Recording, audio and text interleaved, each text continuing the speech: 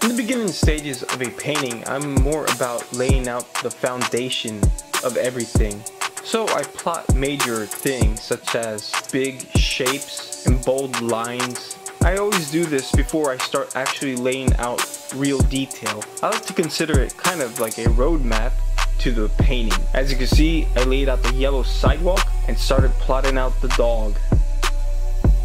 Keep in mind in the beginning stages, there's a lot of correction that goes on. I didn't use a grid, but I regret not using it in the beginning because I didn't get the painting exactly where I wanted. So to be honest, I really struggled at the very beginning and you'll see in a little bit how I added a grid. Also if it helps, use a palette knife to apply lots of color, especially at the beginning stages. A palette knife is just as much of a tool as a paintbrush when applying paint. You can even use it to scrape paint as well and get other textures. Try it out, you'll be amazed what you can do. As you can see, I'm starting to draw out the dog and the ears and some of the folds. I'm not going into a lot of detail. I'm just trying to lay out the shape of the dog. Also during this process, I'm correcting some of the issues early on before they become major problems. Some good advice, always get the basics down first before you start detailing. And that's what I have been doing. And I'm glad I did that because I didn't put the dog in the right spot.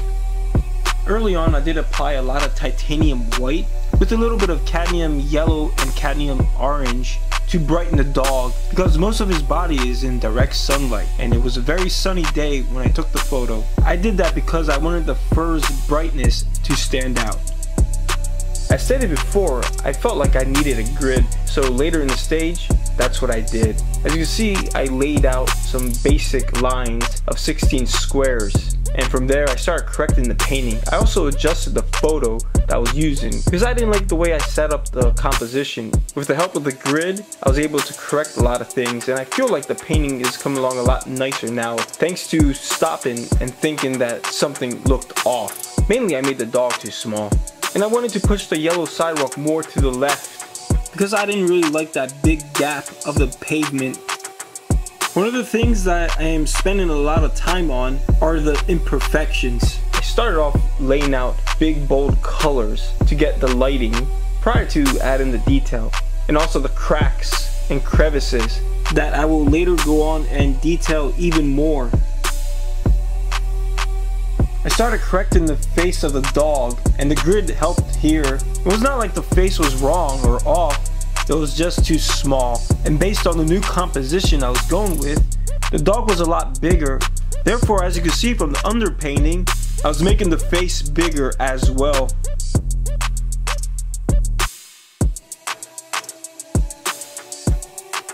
The bricks play a very important role as they help establish perspective and the detail in the end will help establish depth and distance. Even in a close-up painting, depth is very important. I started painting the fur early because I wanted an idea of how to do the rest of the painting. So it's always good to experiment early on to see if you get a nice little pattern. But here I'm just laying out colors that are going to be part of the underpainting and later I'm going to start laying out all the hairs that cover the dog. There's lots of colors and I had to pay attention very carefully to the photo. Same with the sidewalk. The sidewalk is not just yellow, it's yellow in other colors like green and orange. I relied heavily on cadmium yellow, but I also used cadmium orange, viridian, and blue, cobalt blue. I laid out these colors before I went into a lot of detail, such as the, all the imperfections, bumps, cracks, and marks from tires or shoes. I thought establishing the face of the dog, such as the eyes, was very important early on. I didn't go into detail yet, but I wanted to get an idea of how the painting's gonna look before I further apply more detail. So I had the lights and darks or should I say, I applied areas where the sun hit. I focused more on sculpting the dog with light and shadow than actual detail, but I did include some detail only to create a roadmap that will help me later.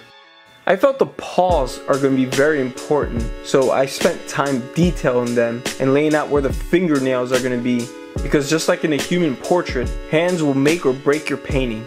Same goes for dogs, in my honest opinion. While doing the yellow sidewalk, I paid attention to the transition from yellow to the pavement, and I wanted to add that detail I saw in the photo, which is the plant that's growing through that little crack just underneath the dog's nose. Again, palette knife is a great tool to apply lots of colors.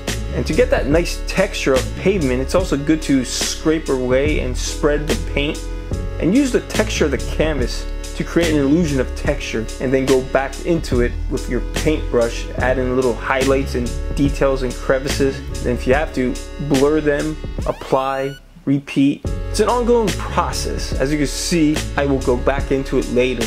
But the important thing is layering and lots of layering and paying attention to the highlights and other intricate details like little rocks. Experiment and see what works. I find once you get into the swing of things, you can develop a repetition of pattern that will create the illusion of a texture. And from the experimenting, you'll learn how to do certain things and apply it to your next painting. Speaking of experimenting, I started working out some of the details of the hair. I just wanted to fool around a little bit before I do the rest of the dog. So I laid out certain colors and started applying more hairs and see how that will go. And one of the techniques I was using for the most part was laying out lines, going back and blurring them, and then applying lines again. And it kind of helped going from dark to light, but that doesn't mean I didn't apply some lighter hairs early on. I wanted to establish the sense of sunlight, but the dry brushing is the thing that was very key.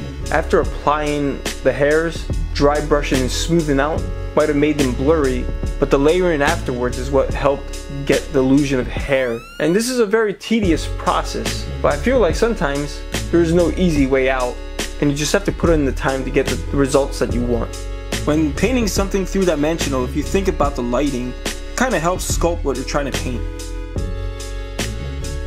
Speaking of sculpting, another helpful tip is to actually use very thick paint in certain areas, especially the bright hairs.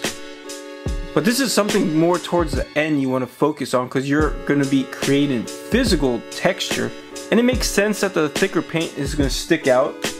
Actual lighting from the room will hit it and that will help actually give off a more illusionistic appearance of actual fur and texture. But again, this is something towards the end you want to do.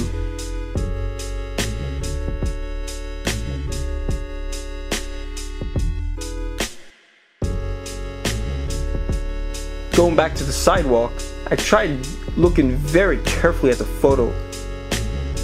One of the things that I wanted to do is capture all the imperfections, or as many as possible, that I saw Honestly, this is a real issue with homeless dogs in Greece. So all the little details will help with the realism of the issue, including the paint job that is not that great of the sidewalk. As you can see, there's little drops of paint everywhere and little pebbles and rocks and cracks. I don't know how many times a car ran over that sidewalk, but there's lots of marks that could be from tires or even shoes and broken pieces. All that adds to the detail in my opinion. I also started to detail the pavement and I didn't want it to be just a giant void of gray. One of the reasons I selected the photo is because I liked all the variation of bumps and crevices the pavement had. Therefore I tried to, instead of copying it, try to create a repetition, a pattern to give the illusion of the texture and go back into it and capture things I saw from the photo as well. Some of the details I tried to paint and capture are more paint drops. Again, the person who probably painted the sidewalk didn't do that great of a job, and I wanted to capture it in the painting to make it more believable. When applying detail, I was paying attention to distance. Even though there's not much distance in this painting, where it's really about 10 feet, because I still wanted to get a sense of depth. So I lessened the detail in the yellow sidewalk towards the end of the painting. And towards the front, I focused on trying to see every little crevice. Pay attention also to the edges where light and darks meet. It helps to brighten the edge a little bit and also darken the other side.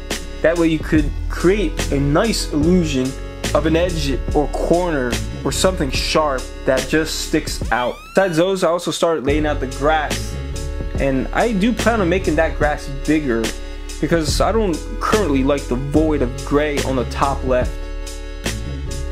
The tiles were sculpted also and I paid attention to the photo and see how they protrude a little bit out and there is gaps between those tiles. So the lines that I would paint aren't just clean lines. I did them with respect to sunlight and shadow to give them that three dimensionality as if they are actually protruding out a little bit in certain sections. Nothing in this sidewalk is perfect and I wanted to capture that in the painting. As much detail as I'm going to try to capture in the background, the dog is the all-star of the painting and therefore I will spend a lot of time making the dog as detailed as possible. Everything from the fur, the face, the paws, and especially the eyes. But going back to the fur, it might seem very tedious, but it is a lot of work if you want it to look right. You just gotta lay out again some of the darks and lights and then go back into it with more lines for the hair. I mean, this is if you're trying to capture realism and believable texture. I mean, if you're trying to make an impression of the dog's hair, it's not gonna involve as much work, but I'm going for realism because this is a realistic problem in Greece. If you made it to the end, thanks for watching. This was definitely a very tedious painting to do, but there's something about it that keeps me wanting to paint more and more. And I'm actually close to being finished, so stay tuned for possibly one more video or two, I'm not sure yet, depends on the footage, where I will go into more detail, particularly the dog and the imperfections of the sidewalk and pavement. Also, check out my Instagram if you want to see some finished work of mine. Not your typical painter, of course. Anyhow, stay tuned for more and thanks for watching. Bye.